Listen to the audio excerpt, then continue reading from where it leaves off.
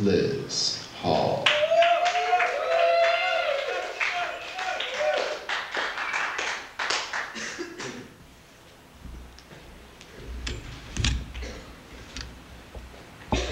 This is called the standard seduction technique. Uh, a man I met once. Respectable and Julio Iglesias rolled into one. This wouldn't be this way if only I'd met you ten years earlier, con artist of the highest order. So clingy, so super smooth, peanut butter tacky. You need a stiff drink to wash him down. All these, God, how beautiful your eyes are. And smooth talking, good looking, baby, I can make you lines like, oh, but I insist.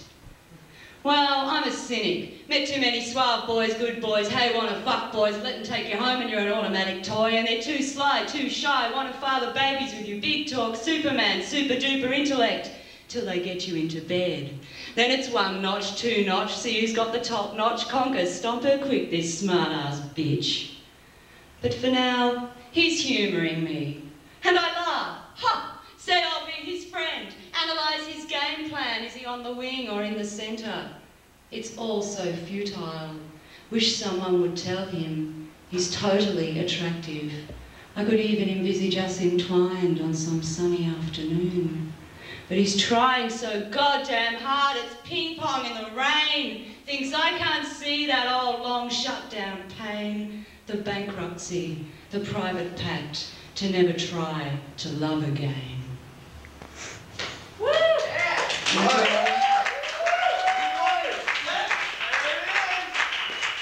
sister, this is partly true, has, my sister has a new set of breasts, perky and pert like an adolescent. A full-time job, two children, a house husband and an exhausted expression. But she can attest to her success by two new $3,000 breasts. My sister has a new slim waist, though she was loved the way she was. Sliced scar below ribs, four stomach staples, anaesthetised nearly died on the table of the surgeon who said this would make her happy, a new slim waist to compensate for babies. My sister has two lovely new legs, suctioned the cellulite, waxed all the hairs, paid $2,000 to deny the Rubenesque contours of her womanliness.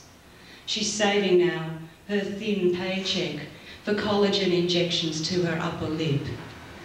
My sister is a fashion plate. She buys the clothes designers create, notes from the bank screw up her face. She works to pay for the latest dress. She'll only wear once or twice the shoes that match to make it nice. And she can neither sit nor stand in clothes made only for looking at. My sister has no feeling in her breasts. My sister lives on packet soup and biscuits. My sister's scar tissue hinders her movement. Now she drives a block to the supermarket. My sister's gone bankrupt. She lost her job. They said she didn't move fast enough. My maturing sisters hate themselves for not being society's version of beauty. My beautiful sisters hurt themselves, believe self-mutilation will make them happy. My smart, sad sisters have never believed there is much more to love than a perfect body.